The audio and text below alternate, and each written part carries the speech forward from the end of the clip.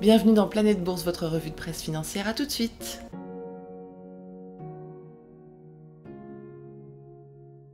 On commence avec l'Europe. Le français Schneider annonce prendre 30% de participation dans la société américaine Uplight, spécialiste des solutions logicielles pour les fournisseurs d'énergie. La transaction valorise Uplight à 1,2 milliard d'euros. Pour mener à bien la fusion à 9,2 milliards de dollars et devenir le plus grand groupe mondial de petites annonces, l'américain eBay et le norvégien Adevinta acceptent de se séparer de leurs filiales respectives Gumtree UK et Spock. Man Group, le plus grand gestionnaire de fonds spéculatifs cotés en bourse, versera un dividende, même si ses bénéfices sont en chute de 42%. Aux États-Unis, Samsung Electronics va investir 17 milliards de dollars dans 4 usines de puces sur le territoire américain dans le même temps, le Coréen renégocie ses conditions fiscales. Activision Blizzard, le plus grand éditeur de jeux vidéo américain, se paye Frances Townsend, l'ancienne responsable de la lutte contre le terrorisme sous Bush, pour superviser la conformité, les affaires gouvernementales, les communications et surtout les relations avec la Chine, le plus grand marché du monde.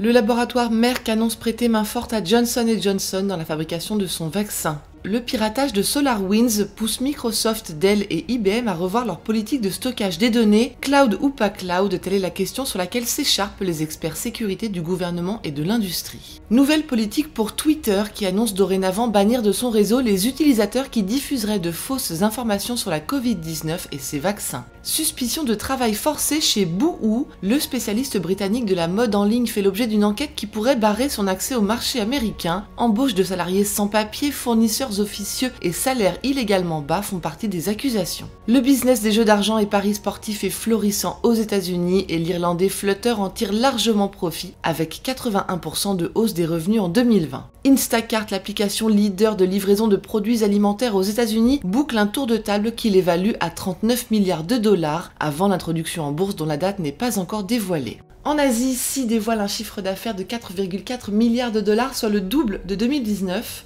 En tête dans six pays pendant la crise sanitaire, le groupe singapourien de e-commerce et de jeux en ligne affiche toutefois des pertes lourdes et croissantes qui inquiètent les investisseurs quant à l'après-pandémie. Au Japon, pour maintenir son rythme de croissance, Uber entreprend de se diversifier en livrant des produits d'épicerie et des médicaments. iSense Home Appliance Group, filiale électronique de iSense Group, prend le contrôle du fabricant de pièces automobiles japonais Sanden Holdings. Cette acquisition confirme les ambitions de croissance du chinois après le rachat des activités de télévision de Toshiba par iSense Visual Technology. Yahoo Line, dont je vous parlais hier, dévoile ses plans pour conquérir l'Asie, une priorité sur la Thaïlande et Taïwan, et des acquisitions dans les petits pays du continent devraient faire de la plateforme une méga application active dans le e-commerce, le paiement en ligne, la livraison à domicile et la vidéo en continu. Plombé par ses pertes annuelles historiques, ExxonMobil Corp poursuit son plan de réduction des coûts. À Singapour, il annonce réduire de 7% les effectifs de son complexe de raffinage. Et enfin, en Australie, la vigueur des protestations sur la destruction d'un site indigène sacré auront fait plier Rio Tinto. Le président du mineur, Simon Thompson, annonce qu'il se retirera, mais pas avant 2022. Voilà ce qu'il fallait lire aujourd'hui sur les unes du monde. À demain.